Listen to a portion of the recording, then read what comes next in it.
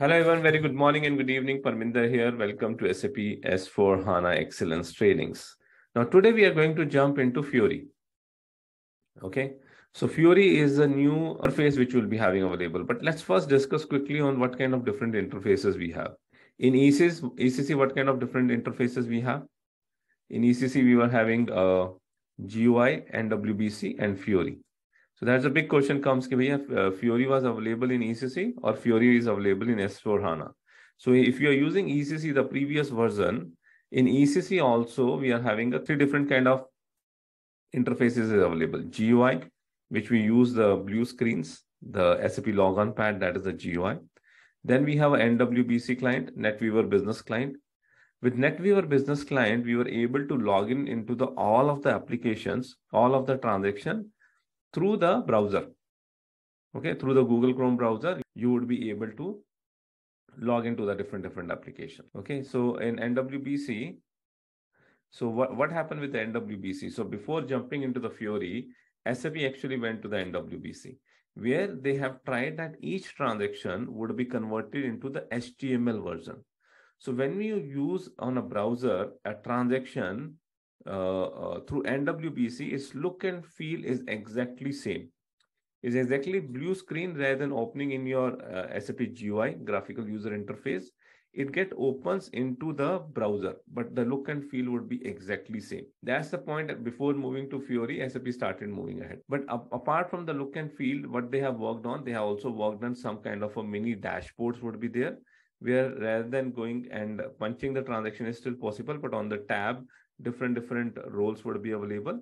And based on the different different roles you would be seeing you would be able to go through the applications. Okay that is basically available through nwbc okay and it is role based based on the role assigned to you there a specific roles created for nwbc also. And based on the roles assigned to you the screen will appear. Okay it's not that interactive or attractive screen which we have in Fiori but role based approach is also available in NWBC. GUI, NWBC, these both are also available in S4 HANA also.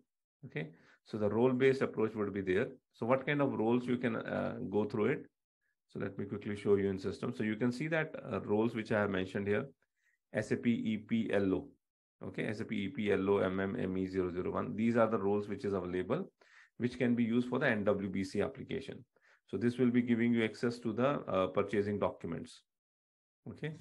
So how to, if you want to check the NWBC, it's very simple. We'll go into the transaction slash n NWBC.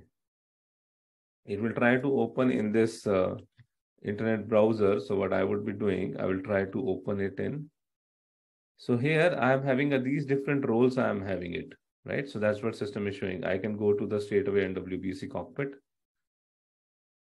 So here I don't have much of the roles. So the screen which appears in front of me is like that. Only the authorization defaults, which is uh, coming here. SAP Fiori uh, Launchpad application manager is coming. So we need to get the roles assigned. Okay, so the roles which I have shown you, if you get those roles assigned to you, like this SAP uh, EPLOMM kind of roles, for each of the modules it's available. I'll just assign one role to me so that I can show you how does it look like. You will not be having this access. Just to show you that in ECC and in S4HANA both, NWBC is available. Let me search the roles. So these are the roles available. Let me assign this one to me, purchasing document role. Save it. I will now go back to the, so you can see now SAP EP LOMM 01 is coming. So this role I am having. So once I will go to this role, you see here, I, I see a lot of things here on the thing. On the top, I have purchase requisition, purchase order, outline agreement, RFQ, analytics. Left hand side, I have a transaction ME51, 52 for the purchase requisition, purchase requisition release transactions. So rather than having a blue screen, now this is a little bit structured dashboard, we can say it, which is available, where you would be having on the top you would be having a, different kind of uh, access. You have different kind of document access.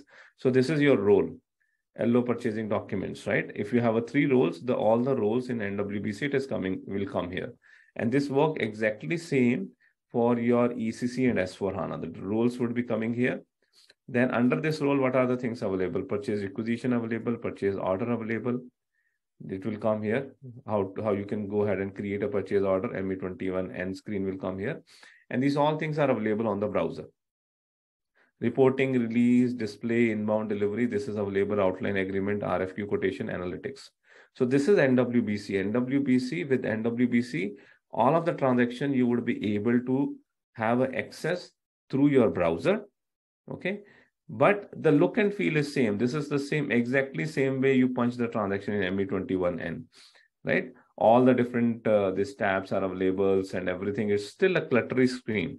That simplification not has been done. It's the still cluttery screen.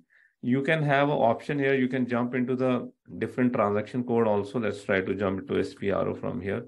So even you would be able to jump into the SPRO also from here on the browser.